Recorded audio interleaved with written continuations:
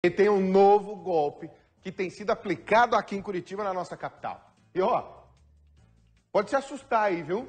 Dentro de hospitais esse golpe é aplicado. Esses estelionatários, eles se aproveitam da fragilidade de muitos pacientes internados para pedir e o pior, conseguir dinheiro fácil. Uma jornalista que quase foi vítima, ela teve um, um diagnóstico de uma doença gravíssima o golpista diz que ela precisava fazer um tratamento de emergência e esse tratamento custaria 30 mil reais. Por sorte, o marido dela entrou em contato com a médica antes de depositar o dinheiro. Mas olha, foi por muito pouco que ela não caiu no conto do vigário. A gente mostra. Põe no ar. Perto do último mês de gravidez, o enorme susto. Com fortes dores de cabeça e pressão alta, Maiara é internada realiza vários exames e, por sorte, nenhuma alteração. Isso até receber um telefonema. Do outro lado da linha, um rapaz se identifica como responsável pelo laboratório do hospital. É ele quem dá a notícia. Maiara está com suspeita de leucemia.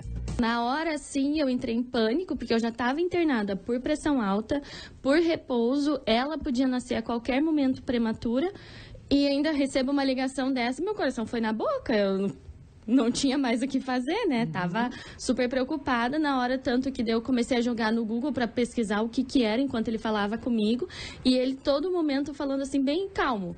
E eu já nervosona, né? Diagnóstico assustador, tanto quanto o exorbitante valor pedido pelo tratamento.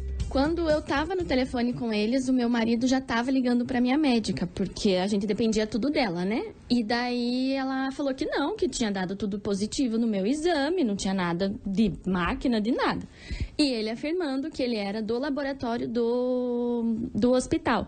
Ele sabia meu plano de saúde, ele sabia o meu nome, ele sabia o nome do meu marido, ele sabia de tudo. E daí ele falou que eu tinha que alugar essa máquina 24 horas, não, 48 horas, para fazer o tratamento correto. Chegaram a, a propor valores? Sim, era 15 mil, se não me engano, por dia. A família da paciente agiu rápido e descobriu com a administração do hospital que do outro lado da linha estava mesmo um estelionatário tentando extorquir dinheiro da vítima. Nesses casos, como as pessoas elas estão preocupadas com seus entes queridos, com medo de que a pessoa já está passando por uma situação delicada, e eles acabam acreditando né, nessa pessoa que se diz ou ser médico do hospital, um funcionário do hospital, e que teria que ser feita alguma intervenção é, médica de emergência e que para isso teria que ter o depósito de, de alguns valores, tendo em vista que o plano não cobriria de imediato, mas que depois poderia, a pessoa poderia tentar o estorno dessa quantia paga. Então a pessoa que já, já está um pouco desestabilizada pelo fato de ter um ente é, passando por problemas de saúde, ela acaba caindo no golpe e fazendo esse depósito. Aqui na maternidade onde a jornalista fez o parto e por pouco não caiu no golpe, vários alertas foram espalhados por todo o hospital. Da recepção aos quartos onde os pacientes ficam internados, porque costuma ser aqui que eles mais fragilizados pelas doenças acabam se tornando vítimas dos golpistas que pedem dinheiro em troca. Muito cuidado. Apesar de todo alerta, muita gente ainda está caindo. Tanto que pelo menos dois golpes como esses são registrados por semana só na capital paranaense. Fragilidade dos pacientes e informações privilegiadas dois aliados de quem aplica esse tipo de golpe. O que deixou mais a gente em pânico é porque eu estava no hospital. Como é que sabiam que eu estava lá, né? Então, assim, eu não sei se foi gente de dentro do hospital que passou informação, se foi gente do plano de saúde, porque sabia até que eu não era a. A carteirinha não era do meu nome, estava na empresa do meu marido. Todos os dados? Todos os dados. Quem repassa dados tão sigilosos dos pacientes aos criminosos? Quando surge um caso desse, gente, várias, várias é, situações nos remetem. A gente pensa se é uma situação interna de hospital que está tá, é, liberando a informação, se pode ser via operadoras. É, a gente não sabe realmente de onde vem essa, essa obtenção dos dados dos pacientes, mas eles realmente vêm com informações muito privilegiadas. E isso realmente complica um pouco a situação. Né? Nada é descartado nesse tipo de investigação. É, a gente tem que analisar caso a caso. Tem casos que realmente tem a participação de pessoas de dentro de hospitais que acabam fornecendo essas informações. E em muitos casos, até algum, algum familiar, algum amigo da vítima pode também ter acesso a esse cartão.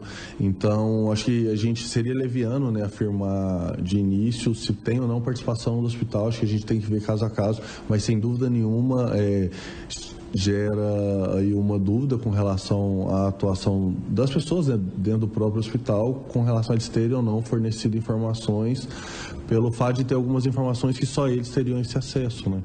Mas não é o único. Vários e vários golpes são aplicados todos os dias. No Paraná, pelo menos 50 pessoas por dia se tornam vítimas dos mais variados tipos de golpe. Apesar de ser um dos mais antigos, do bilhete premiado não perde a majestade.